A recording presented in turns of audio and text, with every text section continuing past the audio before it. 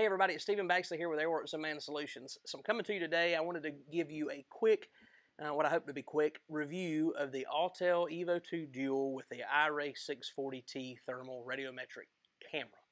So we've got them here compared to, um, we got the, this is the, the Autel Evo 2 Dual aircraft obviously with the 640T. So this is the iRay 640T thermal radiometric camera on this one.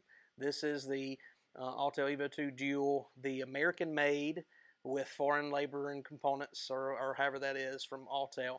Um, that's what this aircraft is, and it has the FLIR Boson 640 thermal uh, dual camera on it. So as you can see, just from pretty much from the naked eye, even not up close, they look pretty much the same. Not a whole lot of difference. What you'll notice is there is a, a clear difference in the lens or maybe the, the finish on the lens of the thermal. It's a little bit different. And also the bezel around that thermal sensor um, camera is a little bit different on, on between the two. Um, but anyway, that's that's neither here nor there. We're interested in what my feedback is, I guess, on how it works. It's good. I mean, I have no nothing else to say. At, at first, I was very skeptical. Um, even without knowledge, I said, "Hey, we got to remember this is not going to be a FLIR. This is not a FLIR brand product. We all know FLIR. FLIR's great. That's kind of what we've known for years." Um, and when we start bringing in something that's non-FLIR, uh, a lot of people just assume FLIR is um, is they they replace thermal with FLIR because of that brand and what we know about it. But the reality is, FLIR is a brand. iRay is a brand. Um, so this is an iRay core. It's really good from a public safety standpoint. I'm a public safety guy. We focus on public safety here at AirWorx Unmanned Solutions. All of our guys are public safety it's really good. I don't know how else to say it. I, we've compared it um, side by side um, in two different. We had uh, co- coinciding flights with both of these systems last week when they first came in. We've flown some at night. The imagery, the contrast, the quality of the image, and the detail in it, to me, is might be a little better than the FLIR. I, I mean, it's just uh, again, it's it's what I see, and it's my opinion. Um, and that is what it is. Take that for what it's worth. But um, it works really well. Where there's nothing out there. Aircraft's th- there's nothing's different between any of that. All, only thing that's going to be different is what that data output from the from the thermal image looks like. And uh, so I've got it pulled up here, and um, what we're going to do is overlay this so you can kind of see. But when what you'll see in the, in the Autel Explorer app when you're in thermal 100% thermal mode. So you got three modes. You got visible, you got thermal, and you got a picture in picture. So when you're in full thermal mode, you can be in record. So in record mode, full thermal mode, we have a frame comes up. It looks exactly like what you would find in DJI Pilot in the, the Mavic 2 Dual or um, one of the XT2s, what you would find in, in that. So you got the frame with the hottest and coldest and you got those two dots. It's going to tell you those two things, points them out, keeps them in the frame. You can move that frame around. You can maximize it, minimize it, do whatever you want to do. You can also go to a spot meter, um, select that, and point anywhere on the screen. Tap anywhere on the screen, any object, and it's going to give you the thermal radiometric reading, uh, temperature reading on that. What you'll notice is Celsius. There is no way, unless I've totally missed it, there's nowhere, no way, nowhere inside the, the software right now or inside this app that you can change that. I assume that's going to be a simple setting somewhere. Maybe it's overlooked. Um, we'll get that request and I'll tell and ask them.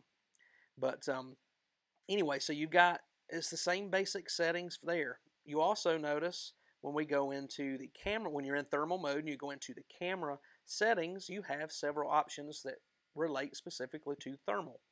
So one of the first ones that comes in is brightness and contrast. So there's a couple readings. There's an auto one, an auto 2, and then there's a manual. So you can go into manual mode and you can turn your brightness and your contrast up and down to kind of to, to better, I suppose, define what you're looking for um, when you're out in the field. So this is great. We've got some control of that. We also have a detail enhancement option you can turn on and off, and it has a setting of 1 to 8. Um, I've played with it back and forth. It makes a difference. You can go up and down and clarify kind of fine edges a little bit more. I would not go anywhere near saying this is like MSX. So don't let it get you in that in that mind of detail enhancement as MSX. It's two totally different things. But I think it's to satisfy a little bit of that to be able to define objects a little better, and it does work. There's a noise reduction option you can turn on and off. There's a gain mode. um, which works really well. You got a high and low gain, and then an auto. Um, and uh, when you go through and you change that, it makes a difference. Um, and kind of what you're seeing. You have a thermal imaging emissivity option of uh, was 10 to 100%, so you can adjust that up and down. It makes a difference when you do that. Um, you have a temperature warning. You can turn that on and you can set your temperature ranges. So if any objects are defined, for example, within your image, either within your, your spot meter or within your frame, it will warn you. It will give you an audible alert. You have isotherm settings. There's a user-defined option. There's off. There's search for human, already pre-programmed. You also have a search fire temp, so very high temperatures. And you also have a user-defined, and you can you can isolate those thermal settings a little bit, or you can simply turn it off. But they, um, again, this the thermal camera works really well. I've been satisfied with it. If I were using it from a public safety standpoint out um, on a call looking for a fleeing suspect, if I were looking for a missing child or a missing person, missing animal, anything, this works well. It is it. there's, I mean, it, it, it compares, if not um, exactly to me, possibly a little better than the FLIR uh, Boson 640. And I mean, again, that's an opinion.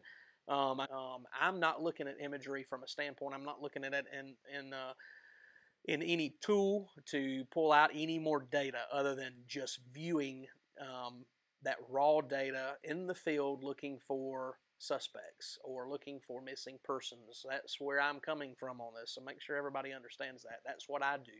That's what we typically sell to the people that do that.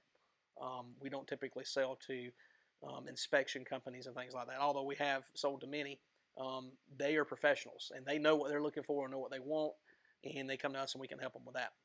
However, again, from a standpoint of public safety, this is really good. We put out some video last week, some side-by-side imagery to show you those details in the two images from white hot um, from about 200 feet um, above ground and then about 200 feet out. 71 degrees high noon side by side almost the exact same positioning. And you can really see and you can see me standing out and I'm doing a uh, kind of a jumping jack move out behind my truck on some some asphalt out back.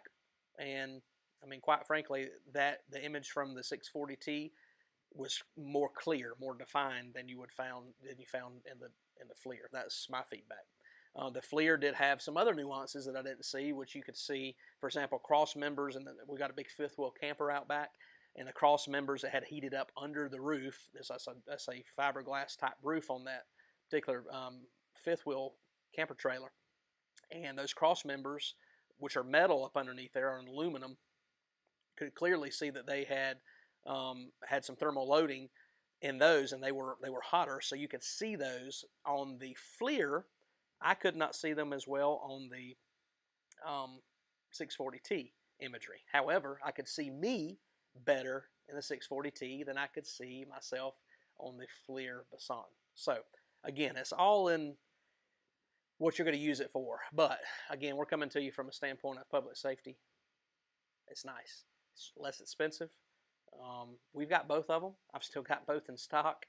Um, unless you know somebody specifically working looking for um, the USA made, and you really truly want a FLIR, um, I think that you're going to be happy with the 640T just the same. So we've got both. We'd love to say you both. We just want to be honest with you and give you our opinions because everybody always likes an opinion of, of what we have to say and I think it speaks volumes when I can when again I can tell you that I'm not gonna um, tell you that this one's better because it costs more, um, and I've still got them in stock. I'm gonna tell you which one I think is the best option for you to buy and use to be successful with. So again, we hope to uh, see you soon. If you got any questions about this unit, if you want to buy one, of course we'd love to sell you one. We've got them in stock. Uh, give us a call, shoot us a text, find us online, Facebook, Instagram, anywhere. It's airworxdrone.com. Our phone number is 864-898-9444. We're at AirWorx Drone almost on any type of platform you look for from social media, and uh, we respond almost 24 7. So reach out to us. We'd love to help you. Talk to you soon.